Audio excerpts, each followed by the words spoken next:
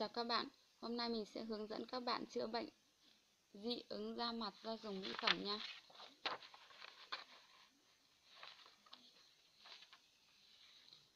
Bạn nhìn da mặt mình này, dày, quá dày nên là um, nó không dễ bị dị ứng. Và ngoài ra thì mình thì không thích dùng mỹ phẩm.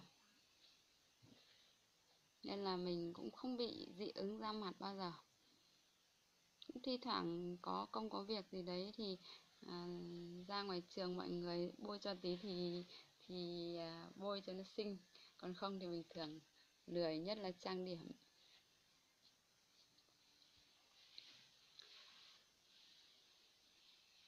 Bây giờ mình bắt đầu nhá. Thứ nhất này khi mà mình bị dị ứng da mặt thì mình sẽ làm như sau. Đó là hàng ngày mình sẽ lấy 50g đậu xanh đậu xanh mà mình không bỏ vỏ ấy, còn nguyên hạt nhá. Không để không để nguyên cả vỏ cả hạt. Mình cho vào đun lên. Đun chín lên. Và nhớ là không cho muối hay cho đường nhá. Uống cái nước đấy. Bỏ bã không không uống uống bã tức là cái hạt đấy. Bình thường là mình hay ăn hạt nhưng giờ mình không ăn hạt nhá. Sau đó mình lấy cái hạt đấy cái hạt bã đó mình có thể dùng cái khăn mình lọc bỏ hết cái nước chất đấy đi bỏ hết cái chất ờ, còn lại đi. Sau đó là mình sẽ nhúng vào trong cái nước nước sạch cái nước lọc ấy, rồi mình bôi lên cái vùng da bị dị ứng.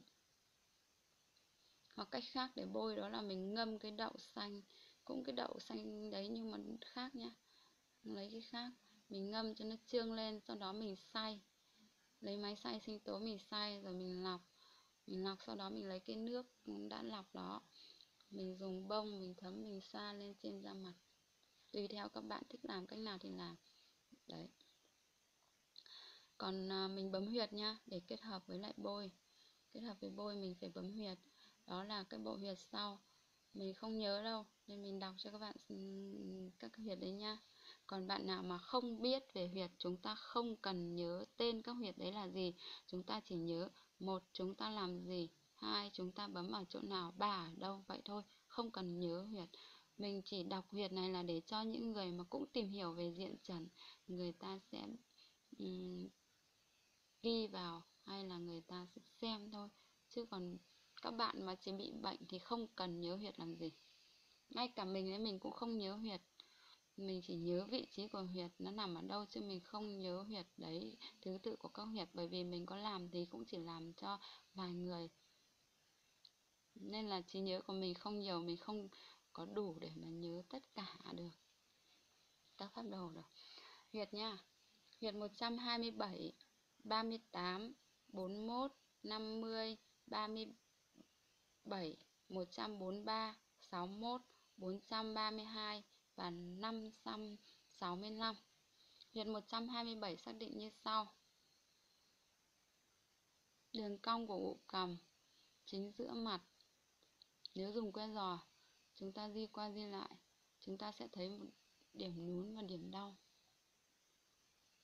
Ừ. Đây này. Là huyệt 127 nhá. Sau khi xác định được huyệt thì chúng ta sẽ dai đếm từ 1 đến 30 hoặc 50. Huyệt này còn có tác dụng cho ngủ ngon nữa đấy bạn ạ. Không cần nhớ huyệt nha, nếu bạn bị bệnh không cần nhớ huyệt, chỉ cần nhớ một là chúng ta sẽ dai ở cái đường cong của cằm chính giữa mặt. Nếu không có que giò thì chúng ta dùng đầu ngón tay. Ừ. Không sao cả nhé dùng đầu ngón tay chúng ta sẽ xác định được chỗ nào trên đầu ngón tay của chúng ta ờ, là huyệt nó sẽ đau hơn những chỗ khác. Huyệt tiếp theo là huyệt 38 mình dùng que giò cho các bạn dễ quan sát thôi. Còn chúng ta không có que giò, chúng ta dùng tay. Không sao nha. Nào, huyệt 38 nhân chung của chúng ta giữa nhân trung giao với lại bờ cọ à, đây là đường pháp lệnh thì xin lỗi. 38 huyệt này còn tạo ra chất kháng sinh đấy. Này 38 bên trái 38 bên phải. Đây là 38 bên phải đây là 38 bên trái. Vậy chúng ta có thể dùng tay thì nhanh hơn.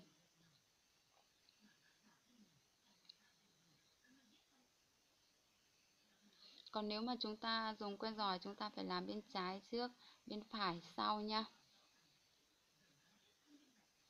tiếp theo là huyệt 41 huyệt 41 chỉ có bên tay phải của chúng ta. Chân của mũi giao với lại tâm của mắt nha à mình xin lỗi. Huyệt 50 mới là tâm của mắt, nên là huyệt số lần thứ ba đó là tiếp tuyến của bờ ngoài, lòng đen, mắt bên phải. Huyệt 41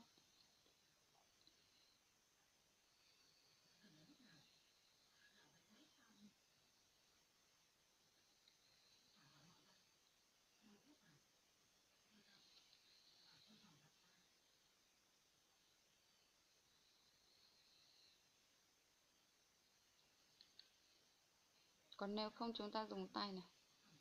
Việt 50 ngay sát đấy luôn. Chân của mũi giao với lại tâm của mắt. Chỉ có ở bên tay phải.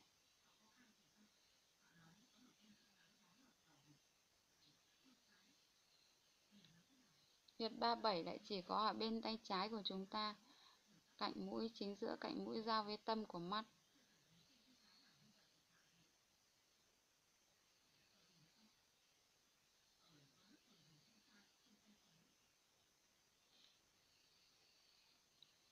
Tiếp theo, huyệt 143.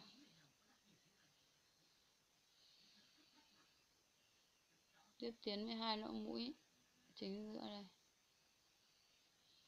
Chúng ta dùng ngón tay thì chỉ cần đẩy lên để đẩy vào đúng chỗ mũi này là đã thành huyệt rồi. Huyệt 61 chỗ lõm của mũi này.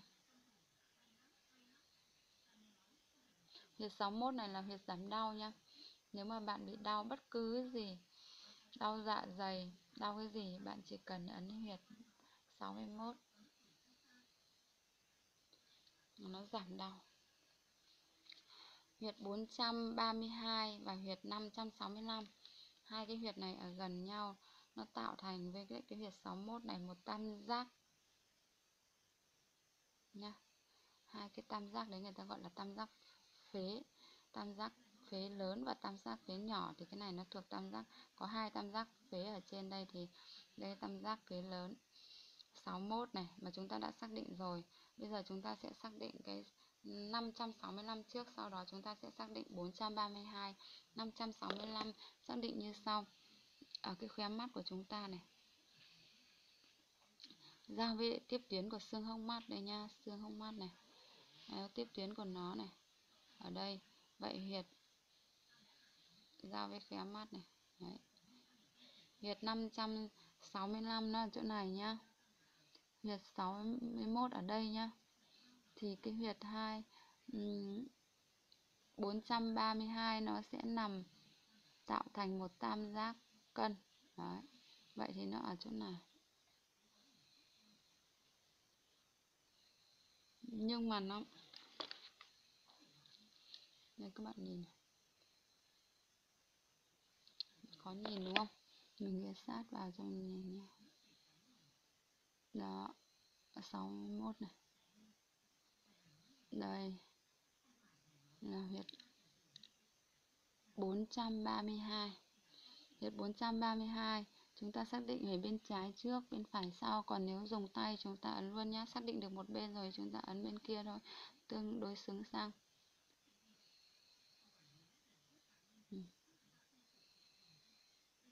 Lệch một chút.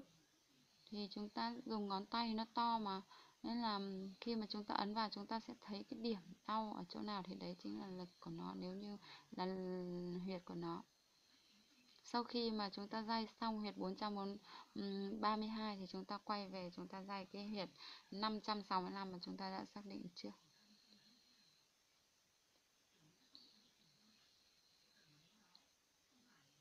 Có vậy thôi đây mình bỏ kính ra đeo kính vào mở mắt.